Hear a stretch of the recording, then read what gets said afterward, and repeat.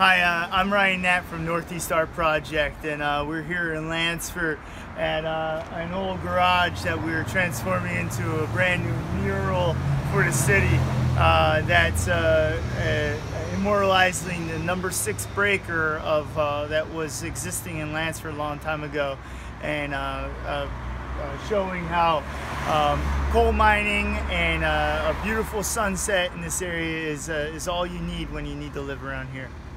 Um, I actually talked to Lansford Alive, and Lansford Alive is a community organization that's looking to help uh, bo boost this community.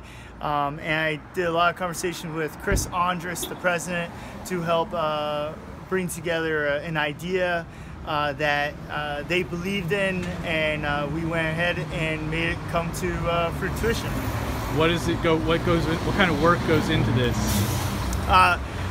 It, we actually started planning a year ago and it's a lot of work in trying to get the community to be behind it, uh, find funding, and then uh, find the right uh, place to execute it.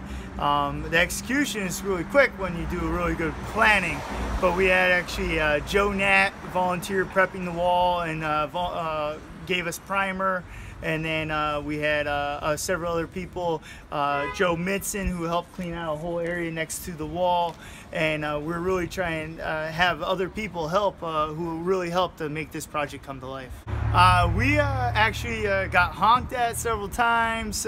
some people said, oh, you look good, so does the mural. That's exciting.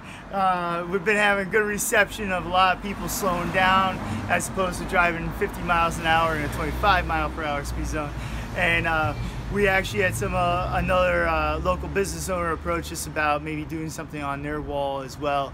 Uh, we just have to negotiate the, the prep work um, and, and, get the get the pricing in the right place to make a, a project like this uh, come to come to life. The arts can do wonderful things. It, it really can elevate.